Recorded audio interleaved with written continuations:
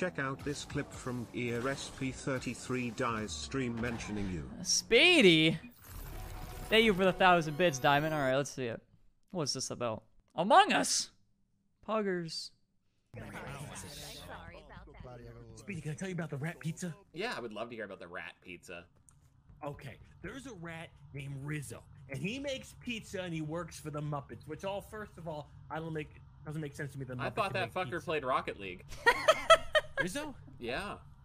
No, no, this is Rat Rizzo, and he makes it the pizza at the at the at the Hollywood Studios. Now, I had a conversation with my chat earlier. We were talking about the merits of Rizzo the Rat who makes pizza. Rizzo. That could. That honestly could be an alert. Rizzo. I thought that fucker played Rocket League. That's a great one. That's solid. Yeah, what a handsome man. I love the mullet on that man too. What I would do to just get a piece of that mullet.